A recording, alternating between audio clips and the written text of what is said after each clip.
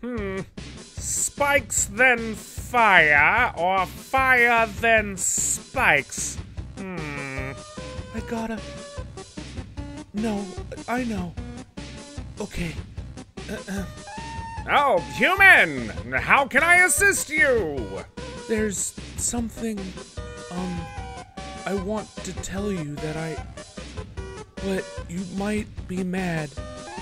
Please don't freak out. I, um, Human?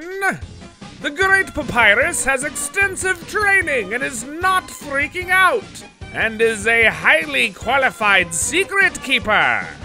And do not be fooled by my lack of ears. I am a most excellent listener. Whatever it is on your mind, you can tell me. r- right. Uh, okay. So, th- there's a demon ghost possessing my body that talks to me and sometimes tells me I should kill people. Hmm.